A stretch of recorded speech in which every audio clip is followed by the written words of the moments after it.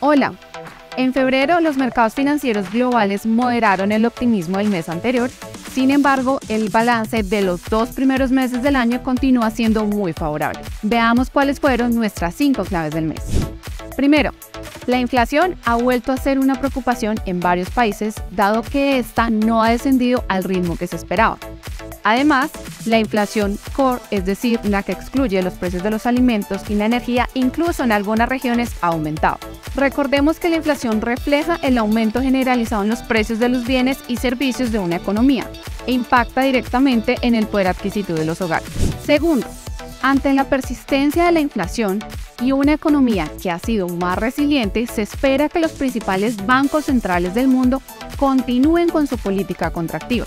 En el caso de Estados Unidos, la tasa de interés podría llegar hasta el 5,5% y en el caso de Europa, la tasa de referencia podría estar alrededor del 4%.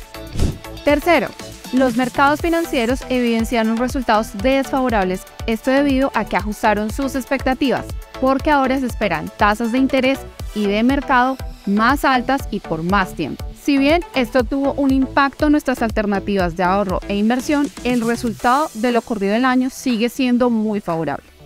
Cuarto, en Colombia la inflación también continúa ascendiendo.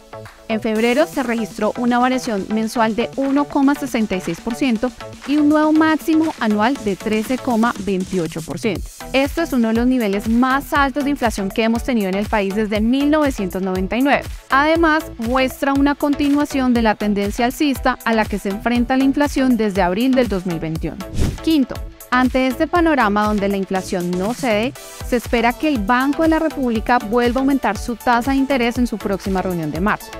Este incremento podría estar entre los 25 y 75 puntos básicos, lo que dejaría la tasa de intervención alrededor del 13%. Soy Catalina Guevara y como siempre me despido invitándolos a que nos sigan en nuestras redes sociales para que estén al tanto de nuestras alternativas de ahorro e inversión. Estamos comprometidos con tu porvenir.